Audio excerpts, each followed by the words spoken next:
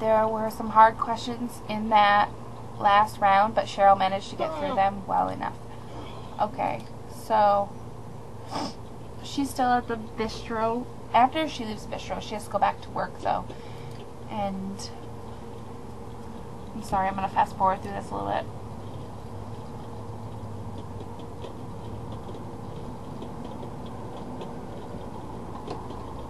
The next time you do see my videos, I will have World Adventures, and I will be, um, I may possibly do that as well. I may show you a little bit of World Adventures.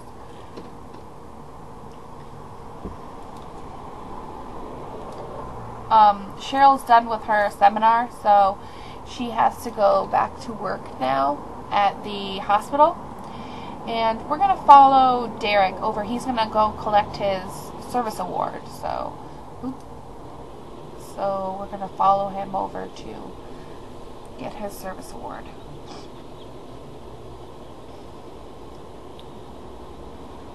And it is Daniel's birthday tomorrow. So we will be buying him a birthday cake and balloons. And we will have um, probably Derek, if he doesn't have work after collecting the service award, we'll probably set up the party after that.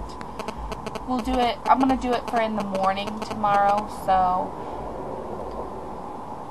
Derek won't, or Daniel won't have to go to school. I know that the parents will scold him for not going to school, but I really want him to become a teenager tomorrow, and if I do it after work, people are usually tired, so um, I'm going to have him do it tomorrow in the morning.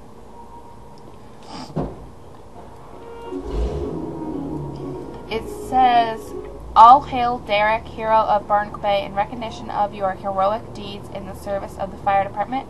I'm proud to present you with the Firefighter's Trophy of Honor. You have saved the lives of two innocent Sims. May you save the lives of many more. Thank you, hero. Okay, um, I will tell you that Derek has gotten quite a few rewards. He has gotten the Firefighter of the Year trophy and Firefighter Coat Velour trophy, and he just now got the Honor trophy, so he that will be going on. Right now I'm going to have him call and schedule the party, like I said. So, let's get that going. And I normally do birthday parties around 11 in the morning. Um, formal wear and it sounds like my fiance's home, so we'll probably be ending the video right after this. So we'll just choose some people here.